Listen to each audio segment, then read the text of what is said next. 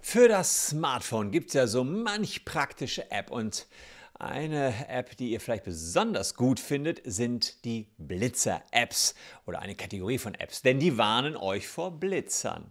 Allerdings, ähm, ja, ist es nicht so ganz erlaubt, wenn ihr als Fahrer diese Blitzer-App anhabt. Es gibt ein paar Tricks, wie man möglicherweise doch noch vor Blitzern gewarnt werden kann. Und diese Tricks, die schauen wir uns heute mal näher an.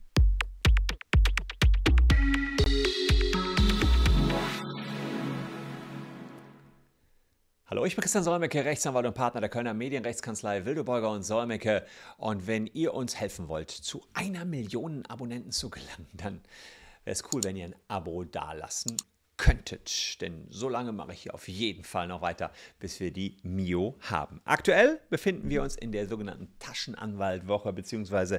im WBS Sommer Special. Und da suche ich gerade meine Brille, denn die treuen Zuschauer, die wissen schon, was kommt. Ich sage euch etwas aus dem Taschenanwalt, beziehungsweise noch besser lese ich euch was vor aus meinem neuesten Buch. War letztens Spiegel-Bestseller Platz 2. So hoch ist das Ding gekommen. Ähm, dafür danke ich euch recht herzlich. Und wer da Bock drauf hat, über die Caption oder den QR-Code kommt ihr ran an den Taschenanwalt. Kostet äh, 14,99 für jeden bezahlbar. Darf ich mich mit Blitzer-Apps vor Knöllchen schützen? Im Radio hört man sie oft, Blitzerwarnungen. Die Moderatoren bedanken sich dann bei den aufmerksamen Fahrern, die der Redaktion einen Blitzer gemeldet haben und geben anschließend so präzise wie möglich durch, an welchen Stellen Autofahrer aufpassen müssen. Wenn das sogar im Radio durchgesagt wird, dann ist das ja auch sicherlich legal, oder? Stimmt, Blitzerwarnungen im Radio sind erlaubt, aber kann ich nicht stattdessen ständig äh, Radio zu hören einfach eine dieser Blitzer-Apps installieren?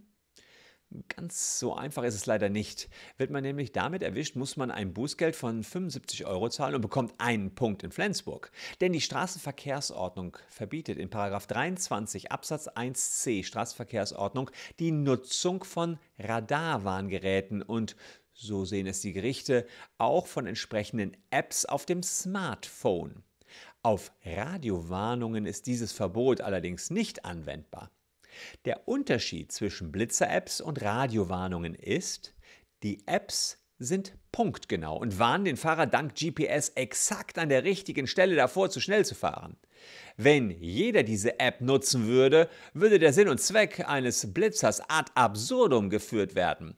Anders Radiowarnungen. Sie sind viel allgemeiner und der Fahrer muss sich im genau richtigen Moment daran erinnern. Zusätzlich geht man davon aus, dass allein die Infos über die vielen Blitzer die Autofahrer sensibilisieren und dazu anhalten, generell aufmerksamer und langsamer zu fahren. Zurück zu den Blitzer-Apps. Wenn ihr auf der Straße angehalten werdet, darf die Polizei dann euer Smartphone untersuchen und prüfen, ob ihr eine solche App installiert habt? Nein. Ist euer Handy ausgeschaltet, habt ihr erst einmal gar nichts zu befürchten. Wenn die Polizei euch allerdings beobachtet, wie ihr vor der Kontrolle schnell das Handy ausschaltet, droht euch nicht nur ein Bußgeld wegen der App, sondern auch noch wegen der Nutzung des Handys am Steuer. Und das kann dann richtig teuer werden. Kleiner Tipp.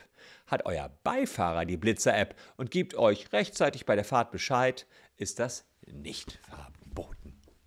Also bitte ab jetzt nur noch mit Beifahrer unterwegs sein, wenn ihr eine Blitzer-App nutzen wollt. Äh, das ist ja, der kleine Tipp, der hier möglicherweise für den einen oder anderen ganz spannend sein könnte.